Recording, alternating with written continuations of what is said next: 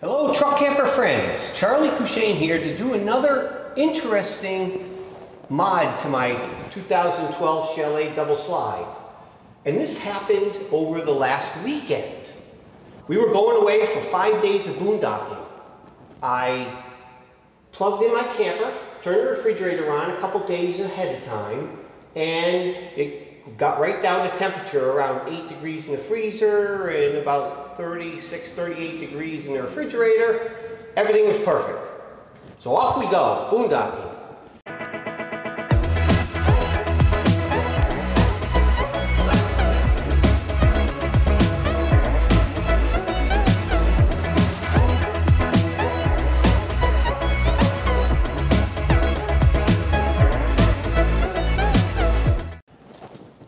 Our boondocking campsite and my wife says, hey, the freezer's now at 18 degrees and the refrigerator is at 60.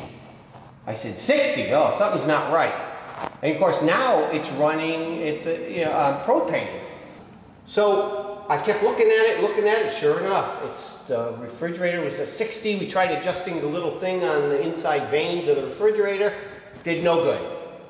So my wife's getting really panicky and because we're going to lose all our food. So I started looking at what it could possibly be. And this is our propane tanks right here, as you see them. Um, they go to our hot water heater right here, to our stove inside, all the way down here to the refrigerator. All right? And I started calling friends, talking to them, and they said, well, maybe, when's the last time you cleaned your refrigerator? I said, never. They said, well, you got to do that. That's your problem.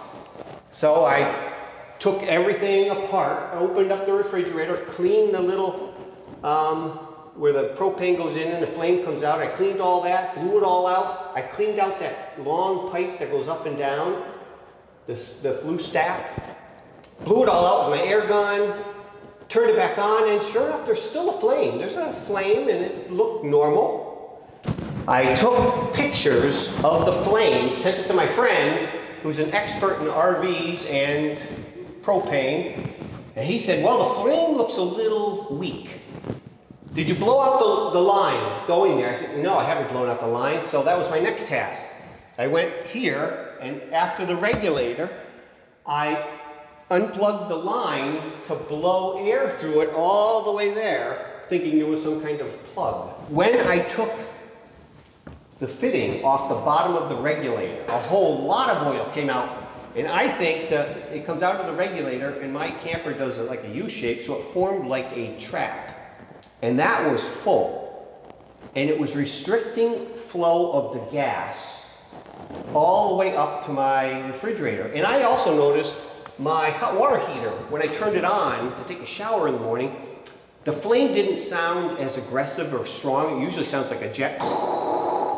But this time it was not that kind of a, it was a more gentle flame. So that my suspicions were probably correct about that oil was restricting the flow. So I just unhooked the bottom of the, the hose from the bottom of the regulator. Oil dripped out of the regulator and I held the hose down and tons of oil. I mean, like, all came out. I let it drain for half an hour, an hour or so, till all the oil drained out. Hooked it back up, turned it on, and sure enough, the hot water heater sounded back to normal. And the refrigerator went back to normal. The, the freezer got down again to single digits and the refrigerator got down to its normal 36, 38 degrees. So everything worked perfect. The problem I have is you can't tell when this is happening.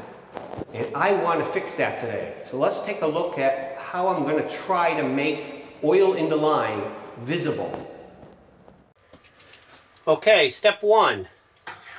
Burn off any propane left in the lines. I have the tanks off, so this is just whatever gas was in the line coming from the propane tanks. So I'm just burning it off now, and we'll let it go till it goes out.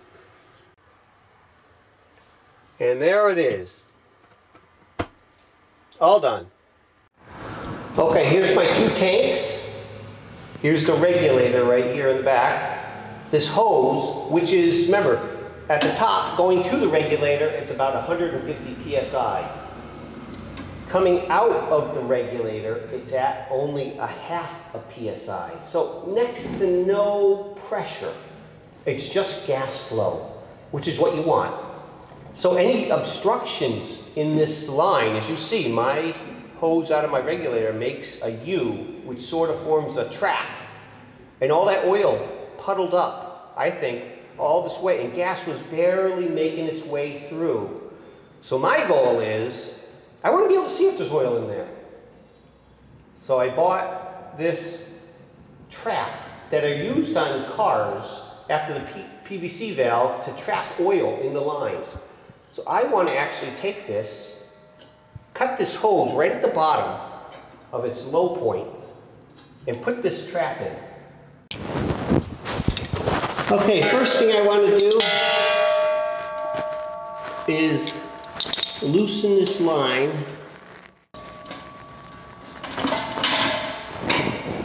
Now, let's see if there's any oil in there.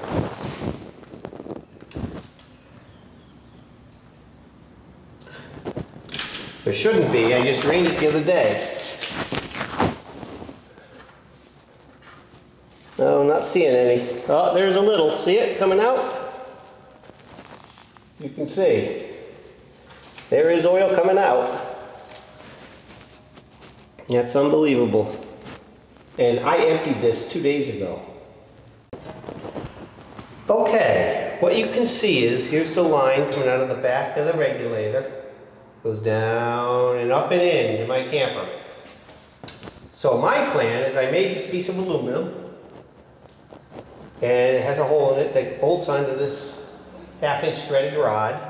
It allows great flexibility, as you can see. I can swing it all over the place. And then this container can swivel too. So we can get it lined up exactly in line with the hose. We can swing it in or out, we could rotate it, so it's very adaptable to get right in line. So what I have to do now is cut the line in the middle and plug it on to these two couplings. All right. Now that looks like a 3 8 inch hose, which is the fittings I have, which is perfect. So, before I hook this up, I want to sort of get this ready. I'm going to put Teflon tape on these threads. I'm also going to put Teflon tape right here. And I'm taking out this filter. Because if you take it and you blow on it, oops, put this on, and you force the gas to go through that little filter, it's a little difficult. And I don't need that. I don't need to filter the gas. I'm taking this out. That's what it looks like inside. Put this back on. Now when I blow on it, easy flow right through. That's what I want. No restrictions. And there is a direction here, so you have to go the right way through this. So let me go Teflon tape this and this, and I'll get back to you. Okay, Here's the trap I'm using. I Teflon taped here and here. And remember, this is only going to see a half a PSI. It's after the regulator, very low, low pressure. And if I need to, I can use this drain to drain the oil if it fills up too much. Or I can take the whole bowl off, either way. Um, what I need to do is now put it in here, get it all adjusted. First thing I have to do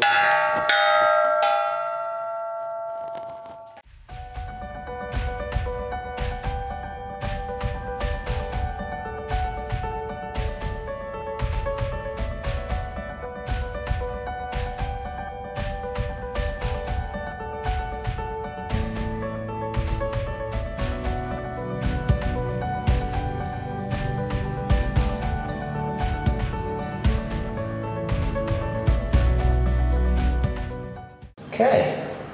Now, obviously, we turn the gas on and bubble check everything. So let's go get some bubbles.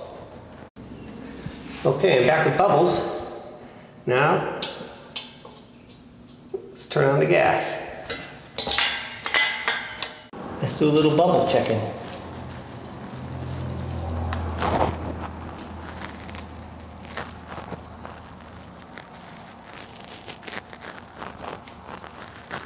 Don't see anything there.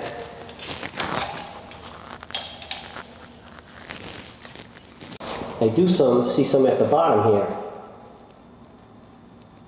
Gonna have to work on that. Okay, this will be bubble test number two. Nothing there. Nothing there. Nothing there. As you can see, it's dripping. I have it all over that. It's dripping down the bowl. Nothing. Nothing coming out of the trap now. I put Teflon tape on the screw. So, perfectly sealed. I think we're good to go. Time for a test. I'm going out this weekend, so we'll see how it goes. Another successful mod. Okay, I've been traveling for about 3,000 miles waiting for some oil to get into the trap so I could show you whether it even works.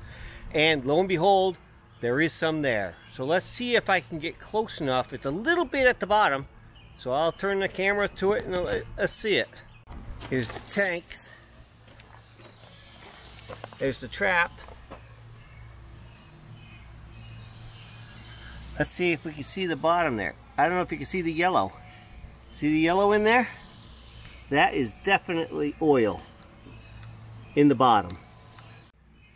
So we can definitely tell that the trap is working, which is fantastic. None of that oil got past it and into the rest of the system. Success!